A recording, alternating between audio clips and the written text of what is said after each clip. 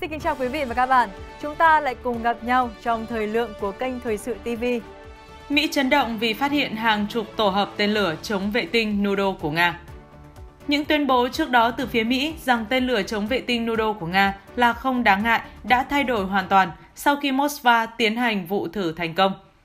Vệ tinh quân sự Mỹ đã trinh sát và phát hiện ít nhất 4 vị trí chiến đấu của các tên lửa này trên sân bay vũ trụ Plesetsk. Các chuyên gia tại Lầu Năm Góc tin rằng quân đội Nga có thể được trang bị ít nhất từ 2 đến 3 chục tổ hợp như vậy. Căn cứ ảnh vệ tinh, dễ nhận thấy vị trí của bốn hệ thống tên lửa chống vệ tinh Nudo. Trong vài phút có thể phá hủy tàu vũ trụ ở độ cao vài trăm km, tước đoạt khả năng liên lạc và tiếp cận giám sát lãnh thổ Nga của quân đội Mỹ. Nudo gây ấn tượng mạnh đến nỗi Washington bắt đầu yêu cầu cấm hoàn toàn vũ khí chống vệ tinh, bất chấp việc trước đó chính Washington đã phát triển loại tên lửa tương tự. Tờ báo của Anh cũng bày tỏ mối quan ngại đặc biệt trước việc Nga tiến hành thử tên lửa diệt vệ tinh. Hành động này được cho là mang tính chỉ dẫn và trở thành một lời cảnh báo rõ ràng đối với phương Tây về việc vi phạm lằn danh đỏ mà Nga chỉ ra trước đây. Điều này có nghĩa là khi Liên minh quân sự NATO vượt qua giới hạn cho phép, NATO có thể nhanh chóng bị mất toàn bộ mạng lưới 32 vệ tinh dẫn đường của mình. Moscow đã bày tỏ sự không hài lòng trước việc Mỹ và Anh tăng cường hỗ trợ quân sự cho Ukraine.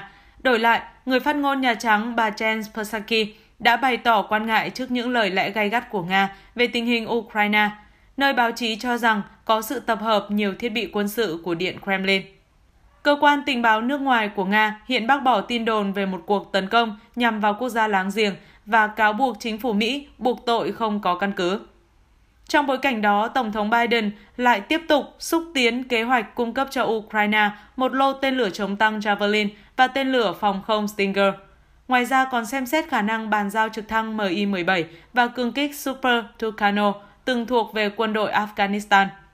Một số thành viên trong nội các của Tổng thống Mỹ tin rằng để đáp trả, ông Putin có thể đe dọa phương Tây bằng những vũ khí hiện đại, có thể dẫn đến kết thúc tồi tệ với đối thủ của Nga. Nguồn tin đã chỉ ra rằng những tuyên bố của Tổng thống Nga về làn danh đỏ chỉ là sự đánh lạc hướng nhằm ngăn cản kế hoạch của NATO trong việc kết nạp Ukraine vào tổ chức này. Họ lấy làm tiếc rằng Mỹ và Liên minh châu Âu đã tạo ra một vấn đề nghiêm trọng bắt nguồn từ việc hỗ trợ Kyiv trong chiến dịch quân sự quy mô lớn tại miền Đông. Nhưng nếu cuộc chiến tổng lực nổ ra, nó nhanh chóng kết thúc với phương Tây, hàng chục vệ tinh của họ sẽ nhanh chóng bị tên lửa Nô-đô của Nga phá hủy. Nếu thiếu mạng lưới vệ tinh dẫn đường, toàn bộ vũ khí chính xác cao của Mỹ và NATO sẽ mất tác dụng, đồng nghĩa với ưu thế tuyệt đối thuộc về quân đội Nga. Theo giới phân tích, Moscow đang dựa vào sức mạnh của riêng mình, tích cực củng cố quyền lực và tiềm lực quân sự, đủ để khiến Washington cùng với Liên minh NATO phải cảm thấy lo sợ.